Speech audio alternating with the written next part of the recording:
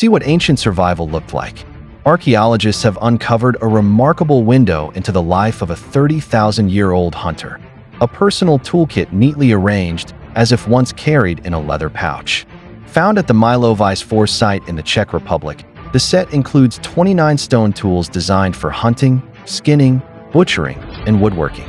The tools were discovered still positioned together, suggesting they were bundled in a pouch that decayed long ago, offering a rare, intimate look at what one Paleolithic individual may have carried day to day. The site, located in the Pavlovské vrchy Mountains, was exposed after a road collapse in 2009 and has since revealed a rich history of Upper Paleolithic life. Charcoal and bones from horses and reindeer help date the layer to between 29,550 and 30,250 years ago.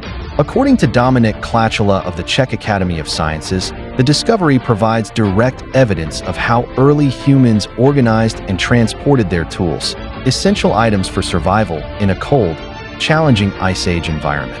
It's a rare snapshot of individual behavior from deep in human prehistory.